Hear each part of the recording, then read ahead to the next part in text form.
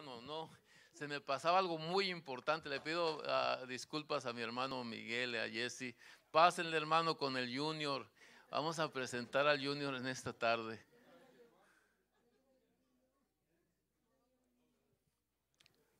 El hermano Margarito dijo, oh, va a presentar a alguien más. No, no, hermano, usted va a brecar. tenemos, hermanos, tenemos un varón nuevo.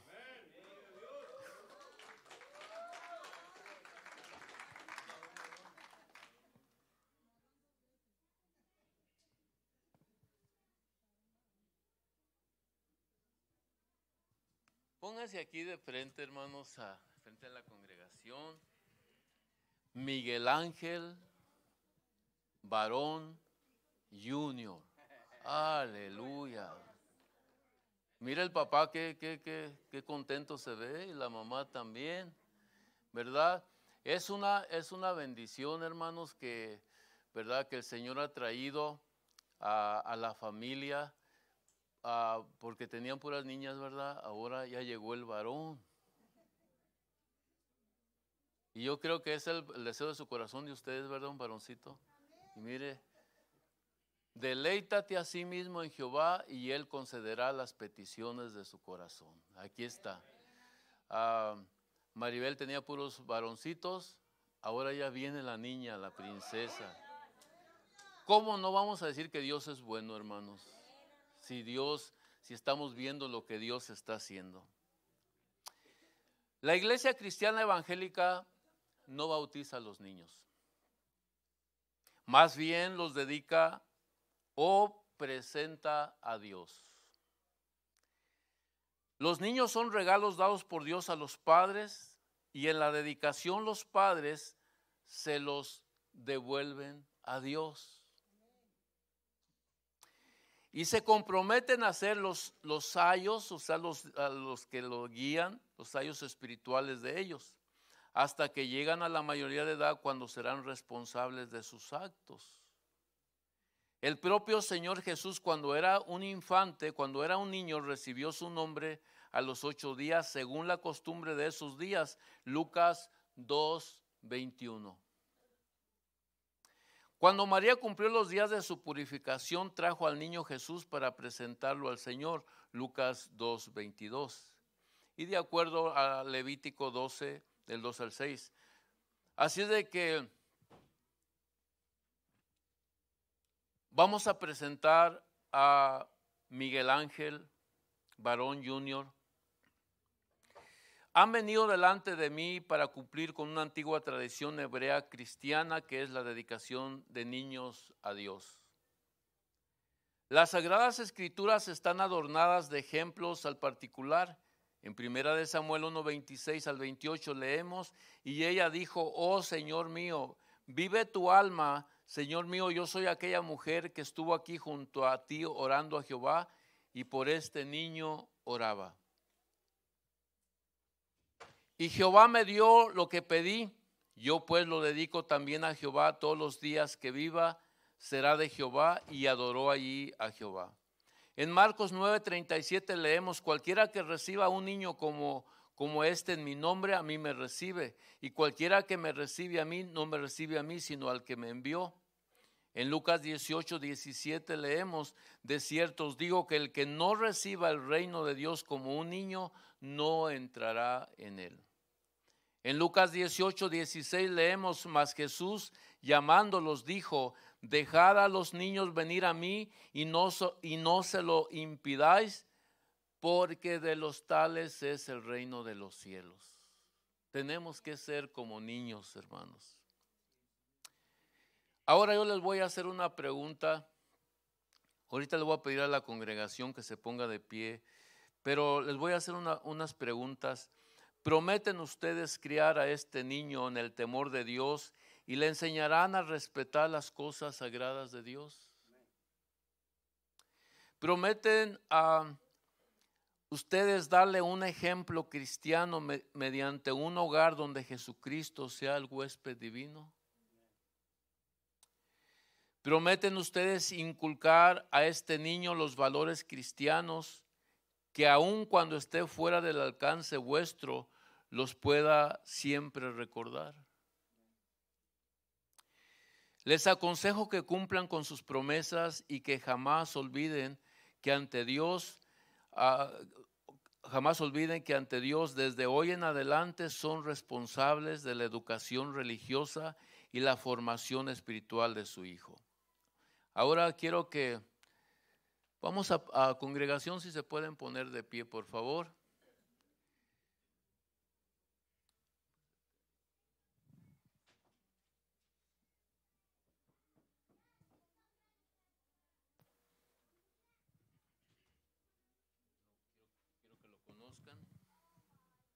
Quiero que conozcan a Miguel Ángel Barón Jr. El otro día estuvimos ahí, se estaba riendo, digo, ay, que me sorprendió que se le hablaba y se reía. Mire cómo está. Vamos a dedicarlo a Dios. Padre, en esta hora, Señor, la congregación como testigos, Padre, siendo el cuerpo de Cristo, Padre, sus padres aquí presentes, que han tomado la decisión de presentarlo, Señor, delante de ti. Y yo como pastor, Señor, que he tenido este privilegio, Padre, lo presentamos en el nombre de Jesús. Padre, que en este momento, Espíritu Santo de Dios, tú lo cubras con tu mano poderosa. Que desde este momento, Señor, tú le des dones y habilidades, Señor. Que Él no sea, Padre, otro niño, sino sea un niño, Padre, Ah, especial, Señor, que viene ya, Señor, dedicado con un propósito, Padre, porque desde el vientre, Señor, hemos orado por él. Ahora, Señor, lo dedicamos a ti en el nombre del Padre, del Hijo y del Espíritu Santo. Amén, amén.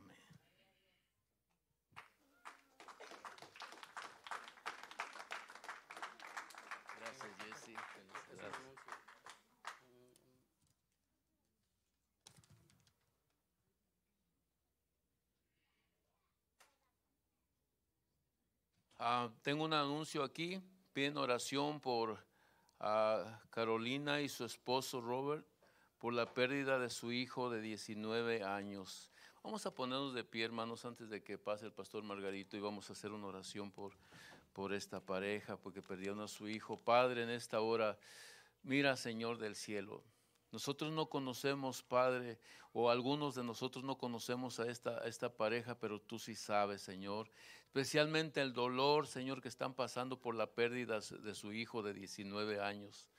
Padre, nos unimos como iglesia pidiendo, rogándote, Padre Santo, que tú des consuelo a esta familia, Señor.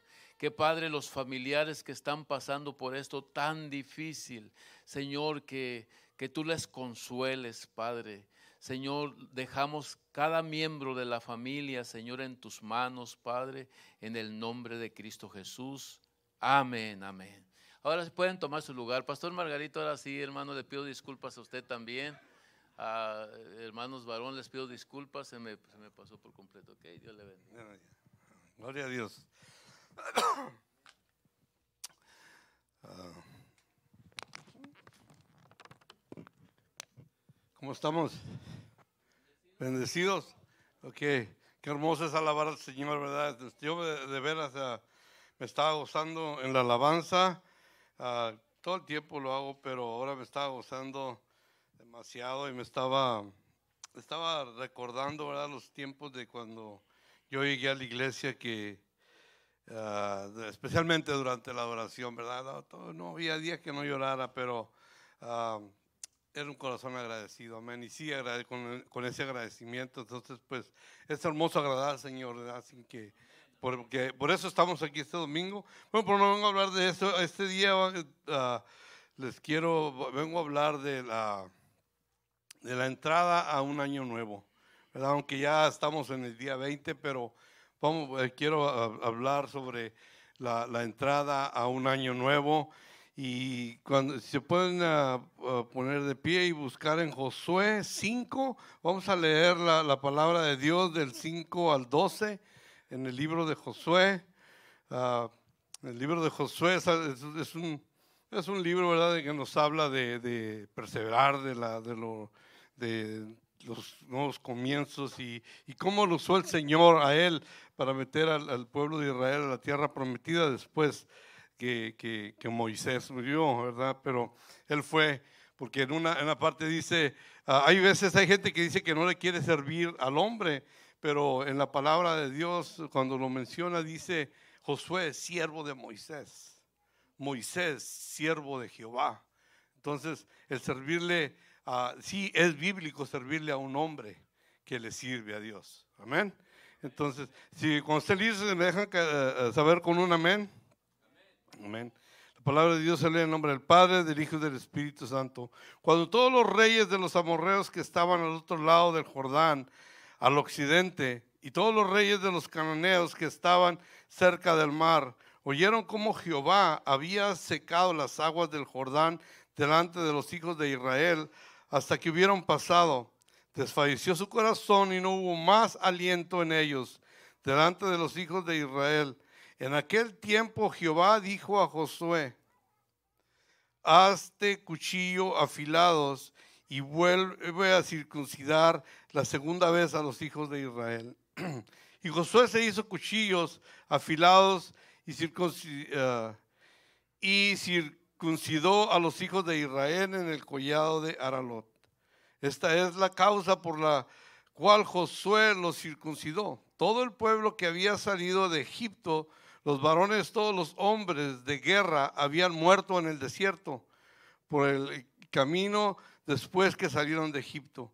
Pues todos los, del pueblo que habían salido estaban circuncidados, mas todo el pueblo que había nacido en el desierto por el camino después que hubieron salido de Egipto no estaba circuncidado.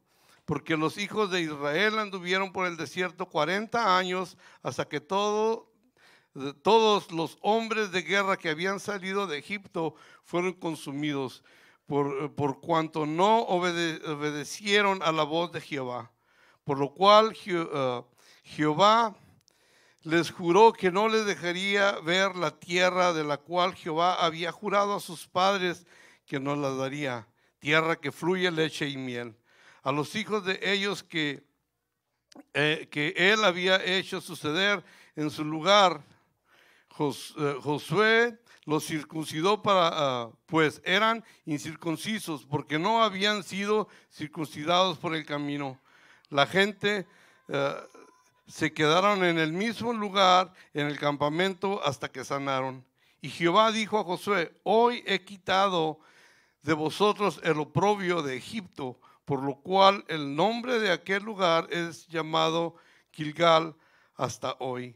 Y los hijos de Israel acamparon en Gilgal y celebraron la Pascua a los 14 días del mes por la tarde en los llanos de Jericó. Al otro día de la Pascua, como comieron del fruto de la tierra los panes sin levadura y en el mismo día espigas nuevas tostadas. Y el maná cesó. El día siguiente de... Eh, día siguiente, desde que comenzaron a comer del fruto de la tierra, y los hijos de Israel nunca más tuvieron maná, sino que comieron de los frutos de la tierra de Canaán aquel año. Padre Celestial, te doy gracias, Señor. Doy gracias, Señor, por este día, por ese privilegio que me das, Padre, de compartir tu palabra con tu pueblo, Señor. Que seas tú, Espíritu Santo, hablando a través de mí. Yo me hago un lado, sino que cada palabra que salga de mi boca, seas tú hablando a través de mí. Padre Celestial, yo te pido, Señor, que tú abras los oídos espirituales de mis hermanos, Padre, sus ojos espirituales para que puedan escuchar y puedan ver esta palabra, Señor. ¿Qué es lo que tú quieres para nosotros en este día, Señor? ¿Qué es lo que tú quieres para nosotros en este año? ¿Qué es lo que tú quieres para nuevo amanecer, Padre, en este nuevo año, Señor? Te pido, que seas tú con cada uno de nosotros, que seas tú conmigo, Señor, que las palabras que yo hable no sean las mías, sino las tuyas, Padre. Y en el nombre de Jesús yo vengo reprendiendo todo espíritu contrario al tuyo que quiere interrumpir esta palabra en este día, Señor. Lo declaramos inoperante en el nombre de Jesús. Amén. Amén.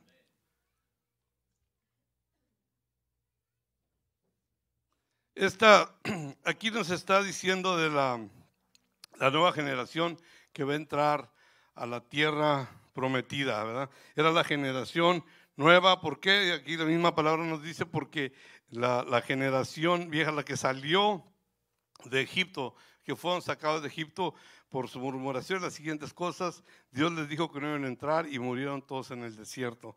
Vamos a, dar un, voy a dar una poquita de, de, historia, ¿verdad? De lo, para, del el trasfondo de esto para poder entender. El pueblo de, de, Israel estaba, estuvo cautivo, estaba en esclavitud por más de 400 años en Egipto. Y tenían los capataces de los eh, egipcios que los ah, maltrataban, los hacían hacer trabajos forzados, hacer ladrillos sin paja, ah, abusaban de ellos. Y ellos cada día se iban a su casa y le oraban al Señor. Oraban y le rogaban, le clamaban por un Salvador, por alguien que viniera a libertarlos del, yugo de, de Egipto. Y Dios escogió a Moisés. Ah, Moisés fue escogido y Moisés nació en el, en el, en el tiempo que vino Faraón, había dado un decreto que todo niño hebreo que naciera fuera arrojado al río Nilo, porque ya, ya, les tenían miedo, ya había, había, antes había tratado con las parteras que, que, mataran a todos los varones, las parteras no quisieron obedecerlo porque estaban obedeciendo a Dios y, no, dijeron ellos, le, mintieron a Faraón, le dijeron, las hebreas son muy fuertes, cuando llegamos ya nació el, niño y pues ya no pueden hacer nada. Entonces él dijo, este decreto, ahora todos los van a echar al, río. Entonces la mamá de, Moisés, cuando él nació, lo guardó, lo escondió y, acondicionó una canasta y lo, echó por el, por el río Nilo. Dios, a, Dios a, aquí eso compartía con los jóvenes en la clase el otro día, de que Dios orquesta todas las cosas. Hay veces que decimos, oh, fue coincidencia, fue... No es cierto, Dios, la mano de Dios está en todo y aquí lo podemos ver. Lo escondieron, lo mandaron por el río. En ese Dios le puso la hija de Faraón que saliera, lo, oyó llorar, lo jaló, lo trajo, lo metió. Ok, buscó que, que buscaba a alguien quien lo criara su hermana de él que estaba cerca vigilando fue y trajo a la misma mamá de Moisés para que lo criara. Entonces Moisés fue criado por su propia madre en el palacio de Faraón. Él creció con toda la cultura de Faraón en las mejores escuelas y, todo. Entonces Dios quería alguien que conociera al pueblo, que conociera cómo funcionaba Egipto, cómo funcionaba Faraón, para poder sacar a su pueblo de Egipto. Amén. Y lo sacó.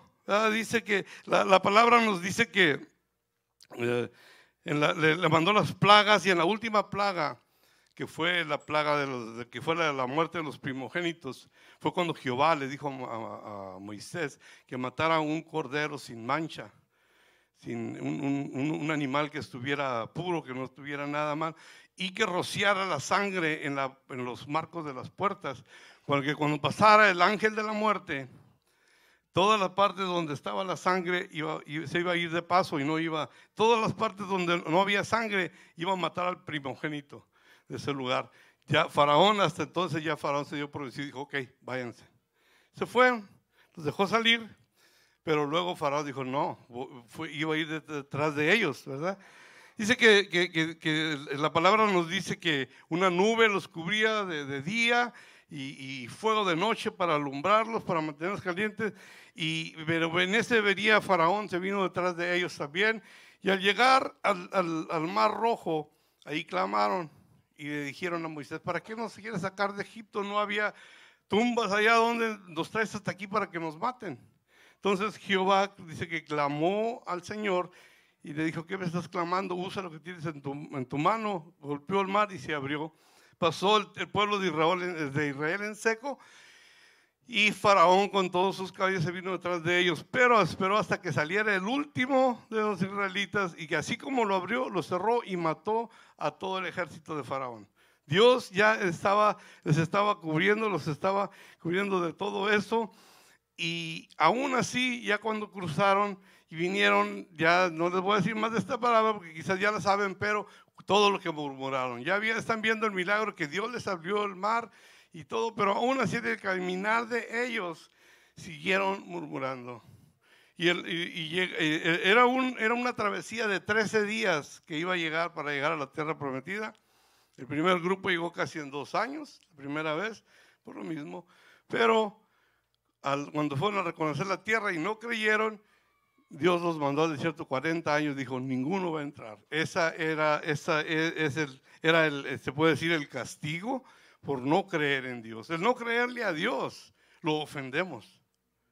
Porque Dios, especialmente cuando ya hemos visto las maravillas que Dios hace. Dios ha hecho tanto, en, a- al menos por, mí, por lo mío, en mi vida y en la vida de tantos de nosotros, que para ahorita, para nosotros no debe de ser mm, ni, ni una pregunta de lo que Dios hace. Pero se nos, se nos está pasando, se nos empieza a olvidar. Amén. Y dice que y llegó esta, esta, llegó este pueblo nuevo, ya venían todos los, los que ah, los, que habían nacido en el- en el desierto no estaban circuncidados. Este pueblo, esta nueva generación, no conocía Egipto, no tenía experiencia de Egipto, no conocía a Moisés, no conocía al Dios de Moisés. Entonces viene esta generación nueva. Y cuando, entonces, aunque Dios los cuidó, los cuidó, Dios les suplió, Dios todo eso, eh, aún, ese es el problema que hay en veces, que cuando tenemos todo fácil, que todo está puesto a las manos, no podemos alabar a Dios. Se nos hace difícil alabar a Dios. Y esa es una de las cosas que en veces que estamos aquí en la iglesia, ahorita eh, todo esto ha estado mm, tratando el Señor conmigo, ahora que estaba la alabanza y que se está hablando de la alabanza. Y es cierto, hay veces que venimos como que le estamos haciendo un favor a Dios con venir a la iglesia. Está la alabanza y así, y, no, y, pero ¿por qué? Muchas veces es porque no está ese agradecimiento. Y en muchas de esas se puede decir en este agradecimiento que no hay es porque no ha habido sacrificio. No ha habido nada. Entonces, este pueblo tenía que ser circuncidado para que tuvieran ese pacto con Dios y hubiera ese sacrificio, porque donde no hay dolor, no hay sacrificio, no hay aprecio. Amén. Y es- esa es la cosa. Hay veces que estamos, venimos aquí en la iglesia y se puede ver, sí. ¿Por qué? Porque podemos ir a las clases de ballet, clases de música, ah, práctica de béisbol, de fútbol, de básquetbol, de todo. Y están bien socialmente y académicamente, pero hay una anemia espiritual. Hay una anemia espiritual porque no está la alimentación espiritual y no está ese, ese agradecimiento del por qué estar, del por qué llegar. Ahorita que estaba, me estaba recordando de, de cuando estaban los, los- cantos y cuando estaba estudiando, de que ah, ah, eh, tenemos ah, zapatos para correr, para jugar y para vestir, para todo, ¿verdad? tenemos diferentes. Y yo me estaba recordando cuando, cuando yo era, era, era, era, chico y quizás muchos de ustedes que crecieron ah, como yo, o quizás no sé si todos crecieron con tenis Nike, pero que los compraban unos zapatos que se les despegaba la suela. Le pegaba, andamos jugando fútbol, le daban una patada, le pegabas a la tierra y se abría la suela. Y andaba, después andábamos caminando como buzos con esas aletas así porque se, se- le levantaba el, el, el- el- el hule, pues no podías caminar. Y ya pues buscábamos el primer cerco que había, le arrancamos un pedazo de alambre y se lo amarramos en la punta y estábamos listos para el juego. Amén.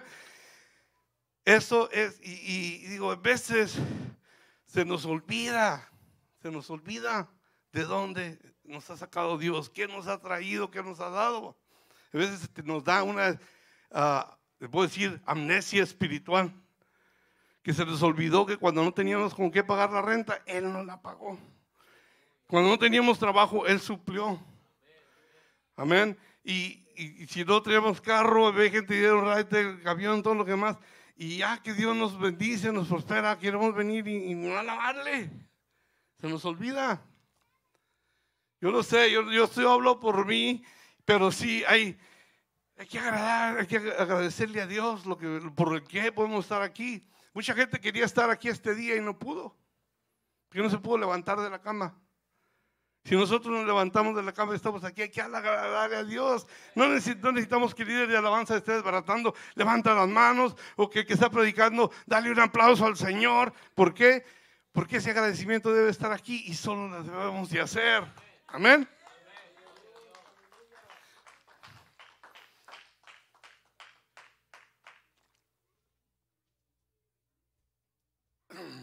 Dice aquí, en aquel tiempo Jehová dijo a Josué, hazte cuchillos afilados y vuelve a circuncidar la segunda vez a los hijos de Israel. Aquí está viendo ah, esta, esta vez, esta segunda circuncisión. Imagino que todos saben ya lo que es la circuncisión, y al que no sabe, bueno, pues es un que se cortaba el cuero del pene del, varón. O se corta, si se hace la circuncisión. Y una de las cosas que está viendo cuando está estudiando esto, que dice, y esto, esto es nomás, como dice, es, es regalo esto, es de que toda aquella gente que cree que la Biblia no fue escrita por Dios o que la ciencia sabe más que Dios, porque Dios inventó la ciencia para nuestro beneficio. Pero dice, eh, la Biblia dice que los circuncidaran a los ocho días de nacidos.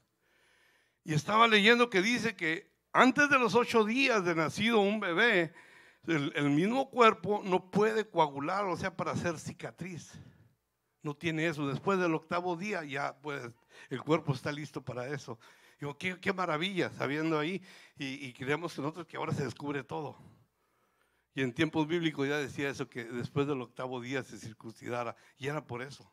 Porque si lo circuncidaban antes, se podía desangrar por eso era el octavo día. Pero este, este pueblo quizás no fue circuncidado porque salió eh, por el lugar que andaban nómadas, no tenían casa, no tenían dónde vivir, pero dice que lo circuncidara. Y este, este cuchillo, eh, este que le estaba diciendo que le dijo a Josué que hiciera, no era un bisturí, no era un cuchillo afilado, era una piedra que la hicieron para que fuera cuchillo. Y con eso lo circuncidó. ¡Wow! Dolor. Amén. ¿Quién quiere eso? Es dolor. Pero, ¿por qué? Porque ellos no, no, no, habían sufrido nada, no, había, no habían vivido con dolor. Y el que no ha sufrido, el que no ha tenido ese dolor, no sabe cómo apreciar. Y este también era una, una forma de tener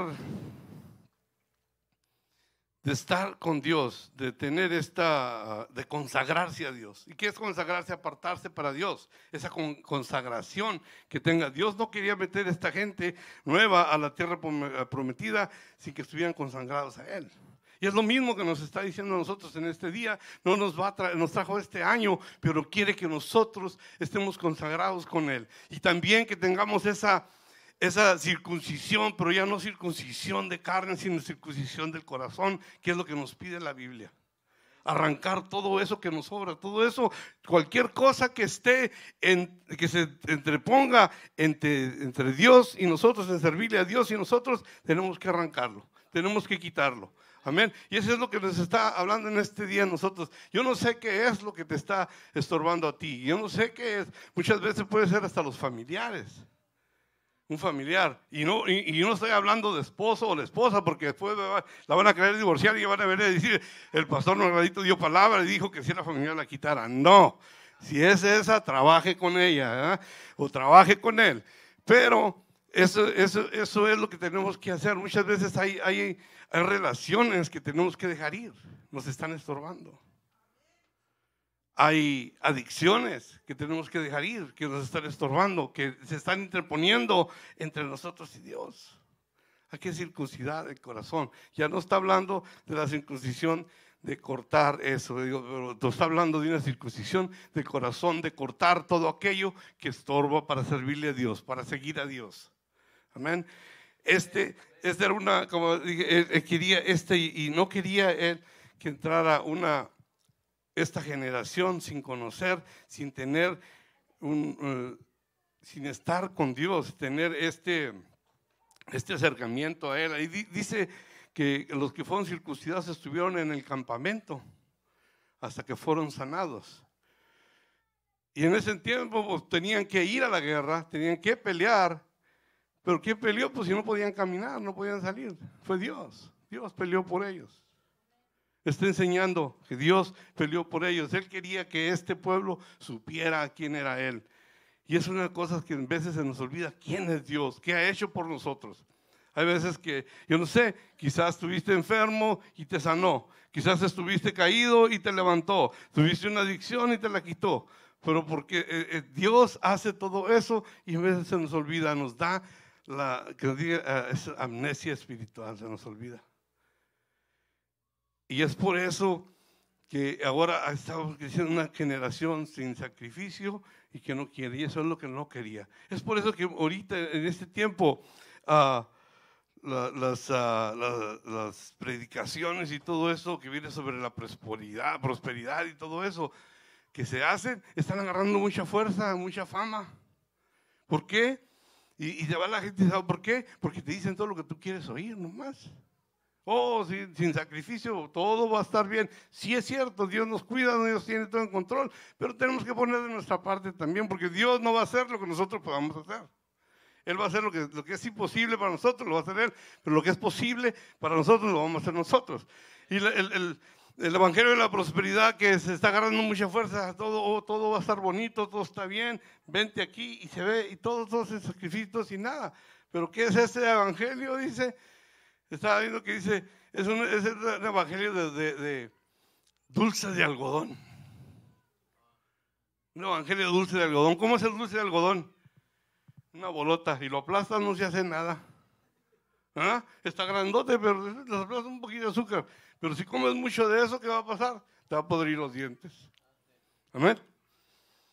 Y si te pudren los dientes, no vas a poder masticar la comida. Y si no puedes masticar la comida, no la puedes digerir. Y si no la podemos digerir, pues no vamos a crecer, no nos vamos a alimentar. Y es por eso que eh, esta, esta ola no crece espiritualmente. ¿Por qué? Porque es falso. Es, mentira de que, todo, sí, Dios nos provee de todo, sí, pero que todo viene sin sacrificio, o que nos queremos sentar en la sala viendo televisión, Dios consígueme un trabajo, ojalá vengan a buscarme a mi casa, no va a pasar. Amén tenemos que hacer. Y este, este año, en la, eh, en la, circuncisión, Dios no quería que entraran así allá y es lo mismo que nos está pidiendo a Amanecer. No podemos entrar al 2019 arrastrando las cosas del 2018. El 2018 se quedó atrás. ¿Ah? Ya se quedó atrás. Nos dice que ya las cosas viejas pasaron, lo que hicimos, lo hicimos y lo que no hicimos, ya no lo hicimos, ya no hay tiempo, el tiempo no se para. Sigue, sigue. Muchas veces estamos llorando por lo que no hicimos, por lo que, oh, se me pasó, mala suerte. No es cierto, la mala suerte no existe, no estás preparado. Amén. Y, estamos con, con estas cosas y Dios quiere que estemos preparados para que podamos entrar al, siguiente año. Hay veces que nosotros queremos revivir algo que Dios mató. Amén. Eh, en, la primera de Samuel está cuando le dice, llega, llega, dice que Jehová le habla al profeta. Samuel le dice, ¿hasta cuándo vas a estar llorando por Saúl? Porque el profeta lo quería mucho, Saúl está llorando porque Dios lo había desechado. ¿por qué estás llorando si ya lo deseché yo? Levántate, llena tu cuerno, vas a ungir a un nuevo rey, un hombre conforme a mi corazón. Lo levantó. Hay veces que nosotros estamos llorando por algo que Dios ya desechó. Quizás es una relación, un trabajo, una casa, lo que haya sido. Si Dios te lo quitó porque te hacía daño, o por lo que haya sido y estás queriéndolo revivir, olvídate, no va a pasar.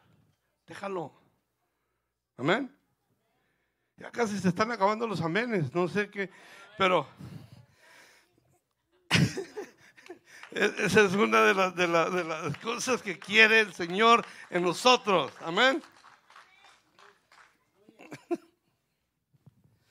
Dios es bueno, hermanos. Dios es bueno. Ah, hay una, dice que eh, los circuncidó, tuvieron hasta que fueron cicatrizados. Hay veces que la cicatriz enseña que ha sido sanado. Un día estaba leyendo un libro que dice que mm, herida que es cerrada sin ser sanada nunca es sanada, o sea, nunca muere. Todo el tiempo está vivo. Quizás no tienes ya la cortada por fuera, pero en el momento que te tocan, te duele. Y esa es una de las cosas también que nosotros venimos cargando con heridas de antes. Las maquillamos para seguir viviendo. Todo está bien, como brentecido, todo gusto, gloria a Dios. Y en el momento que te tocan ahí ese pedacito, ahí brincamos. ¿Por qué? Porque ahí está sanado. Lo que sea, lo que necesite sanar, lo que no sanó antes, si, si fue en el 2018, fue en el 2000, fue en el 1900, lo que, el año que haya sido o lo que haya sido, que sane y que salga y se acabó. A de seguir adelante, porque son las cosas que no nos dejan salir, seguir adelante. El, el Señor quiere que seamos ese pueblo, que le sirvamos y que sigamos adelante con lo que Él nos tiene. Amén. Hay una de las, ah, de es, por eso que, que en veces no queremos darle la gloria a Dios, darle las gracias a Dios. ¿Por qué? Porque se nos olvida de dónde nos sacó, de dónde nos levantó, que si no hubiera sido por Él, no estuviéramos en este lugar, muchos no estuviéramos vivos. Yo no estuviera aquí, yo no estuviera vivo. Pero gracias a Dios que Él vino y nos levantó. ¿De dónde nos sacó el Señor? Ahorita que digo, me estaba recordando de esos de los zapatos, yo que, estaba así. Ahora, ahora sé por qué. Mi esposa me dice mucho, ¿por qué quieres tantos zapatos si todo el tiempo te ponen los mismos? y yo pienso que eso es, pues porque tenía unos puros zapatos, para todo eran para jugar, para caminar, para correr, para todo era lo único. Entonces digo, pues ahora tengo un montón, no me los pongo, pero ahí están. Y, ahora vemos que son cosas de antes. ¿Cómo, cómo crecimos? Cómo, este, me está recordando esta cosa que es medio tonta, pero mm, a mí me, me, hacía enojar y me hacía muchas cosas. Como éramos muchos, mi papá nos compraba los quintales, decían unos, costales grandotes de, de harina para que nos hicieran tortillas, mi mamá. Y entonces cuando se acababa el, la, la que sacaba toda la harina, nos hacía calzoncillos a nosotros, del mismo costal. Y yo me acuerdo que estaba en la escuela y se andamos agachar y se le salía por arriba y no faltaba quien me lo jalara hasta arriba así. Y era la harina de la estrella o el gallo y se reía y no, era, era pleito seguro. Lo seguía hasta que lo alcanzaba y ya me daban a la dirección y que porque nos tenían que cerrar en otro cuarto porque yo, yo seguía peleando y, y, ¿por qué era eso? O sea, eh, era, era, era, era por eso nos hacían burla, pero no sé, quizás todos ustedes usaban ya con Calvin Klein y todo, pero yo crecí con esos. ¿Cómo no agradecerle a Dios por todo eso? Amén. Hay que ser agradecidos con Dios. Amén. Así, así es la vida y así hay que estar agradecidos con Él.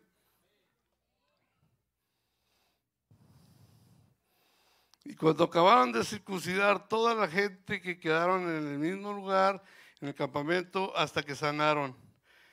Y Jehová dijo a Josué, hoy he quitado de vosotros el oprobio de Egipto, por lo cual el nombre de aquel lugar fue llamado Gilgal hasta el día de hoy. Eh, eh, eh, estaba viendo esta, ah, esto que dice de, los propios, es la, esta es Reina Valera, y en la nueva traducción viviente dice, luego el Señor le dijo a Josué, hoy he hecho que la vergüenza de su esclavitud en Egipto salga rodando como una piedra. Por eso ese lugar se llama Gilgal hasta el día de hoy. En la Biblia en inglés dice el reproche, el reproach. Y en este día estaba, estaba, está diciendo, este día nos está diciendo el Señor a nosotros, Ese día le está diciendo al pueblo de Israel, pero ahora nos está diciendo, no amanecer. Este día voy a quitar el oprobio de ti. Este día voy a quitar el oprobio. Lo que te hizo la vergüenza del 2018, lo que ha sido, este día queda borrado. Este día queda borrado. Amén. Quizás hubo cosas en tu vida o a nosotros como congregación, a la iglesia, pasó algo que quizás fue vergüenza o, nos, nos hubo reproche de Dios por eso. Pero en este día nos está diciendo, este día lo quito. Amén. Este día nos quita el oprobio. Lo que lo pasado ya fue pasado. Dios ya lo perdonó y este día nos lo quita. Que dale gracias a Dios por eso. Vamos a seguir adelante. Ya lo que pasó, pasó. ¿Por qué? Porque hay veces que seguimos con lo que nos dijeron, con lo que nos hicieron y, ya tenemos que olvidarnos de eso, de que lo que te dijeron, que si Dios te ha llamado a hacer algo, hazlo. Cuando estamos con, esta, como estaba hablando ahorita del el Evangelio de la Prosperidad, muchas veces está en, la iglesia, vemos mucha gente que, por cualquier cosa se lastima. Le dices algo y, o si le dicen nada, nomás con que lo veas, ya, se lastimaron. Dice, y, y, pues ya no, pues ya me voy de la iglesia o ya no voy a servir. ¿Y por qué? A donde quiera que vayamos va a hacer lo mismo. Tenemos que confiar en Dios. Ahora, estamos empezando un nuevo liderazgo. Amén. Nuevo año, nuevo liderazgo. Y el pastor nos ha enseñado, y en otras partes se me han enseñado eso, que cuando un pecado entra a una iglesia, no entra por un miembro común. El pecado entra por un líder. Desde el pastor hasta el último. Cualquier líder que esté en el liderazgo, si es un pecado conocido, un pecado premeditado, va a afectar a la iglesia.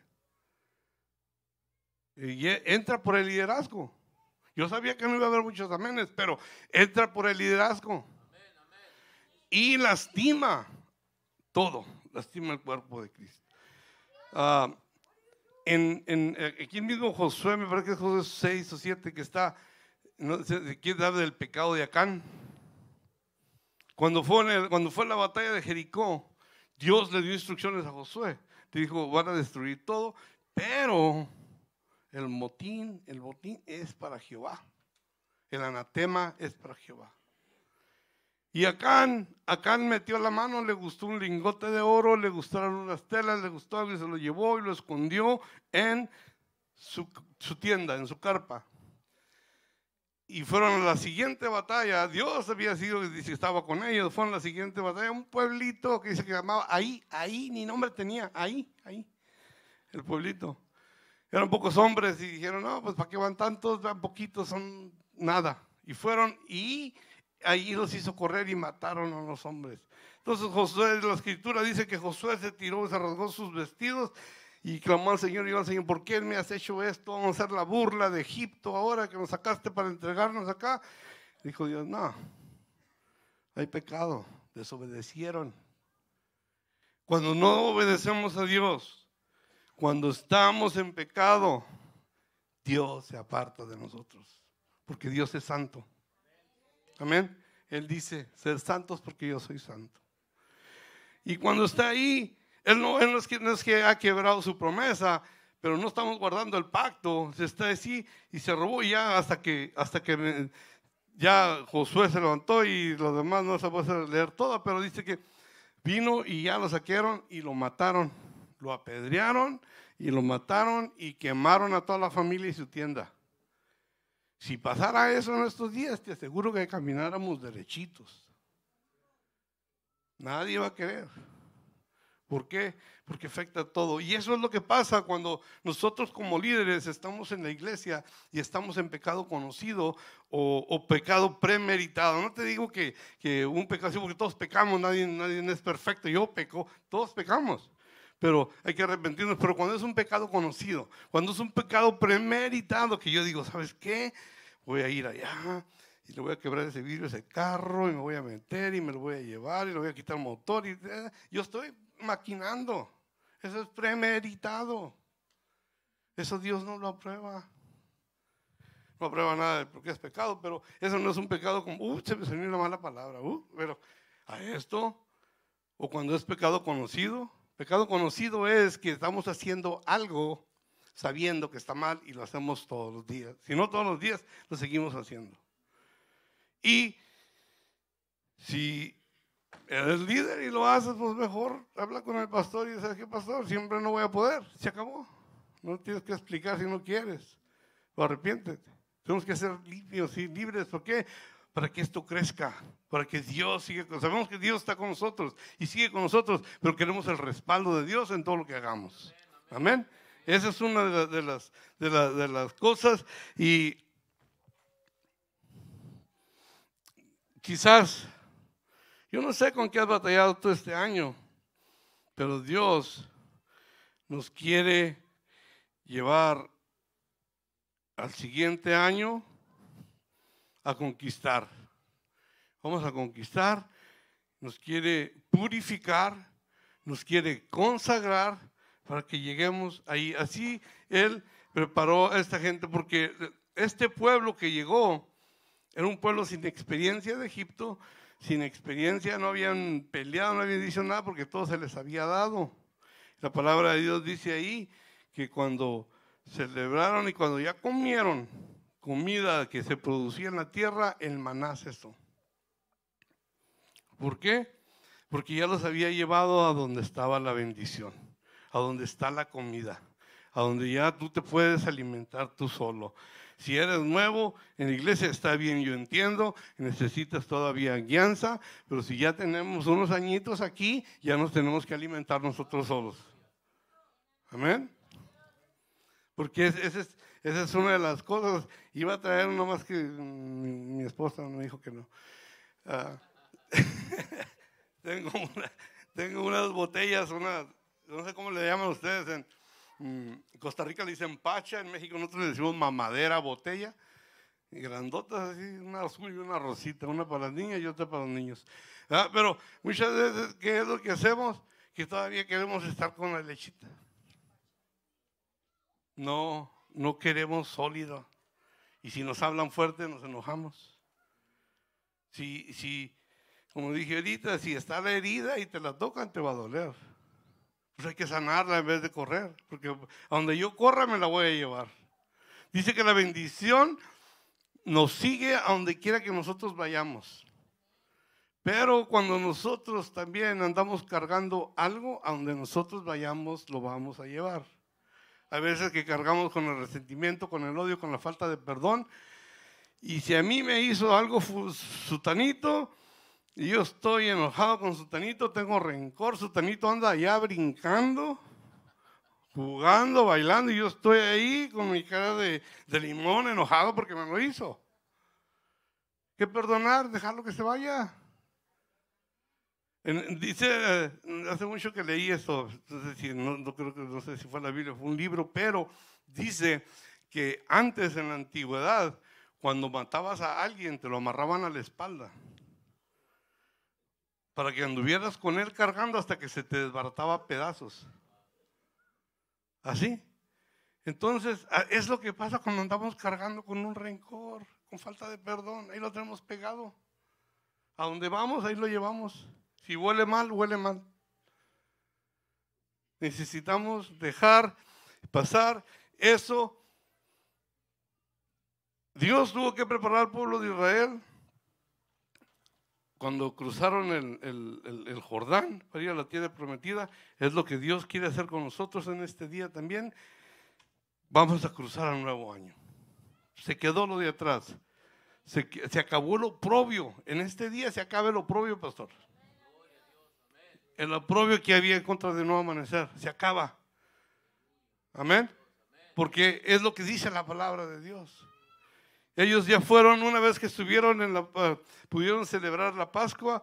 ¿Cuál fue la Pascua? ¿De qué fue esto de, celebrar? lo de la, la- de lo- la muerte de los primogénitos, que lo que es la sangre no lo podían celebrar porque andaban en el desierto, pero ya la pudieron celebrar. Nosotros podemos celebrar la Pascua también. Nosotros podemos reunirnos y si, eh, si, quieres hacer, todos se usa mucho que, ¿cuál es tu resolución de año nuevo? Y que todos la gran más conocida es de perder peso. Todo el mundo quiere perder peso. A los cinco días se acabó la dieta ya. Ahorita vamos en el 20 y ya se acabó. Para muchas revoluciones ya estuvo. Amén. Pero si, yo, te, yo te invito que si en algo es una resolución, resolución tuya, que sea alabar a Dios. Que sea venir con un corazón agradecido a la casa de Dios.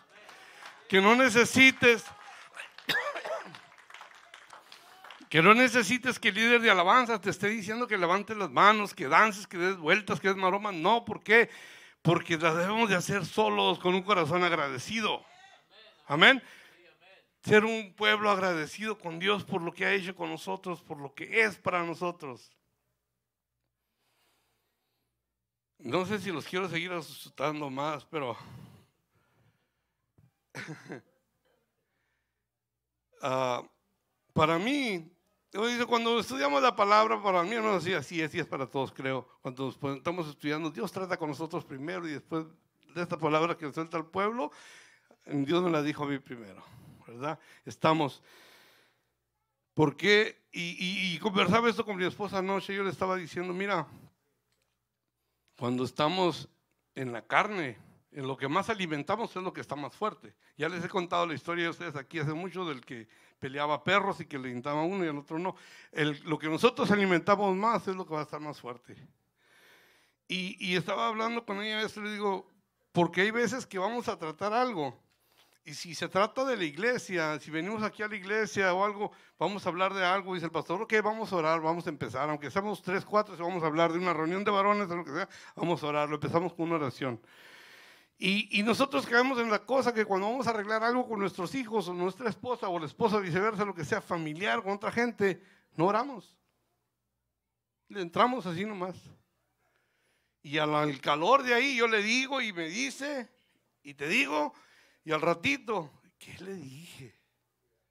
Quiero recoger esas palabras que dije, ya no puedes, ya se fueron, ya salieron. Esas palabras ya salieron de nuestra boca.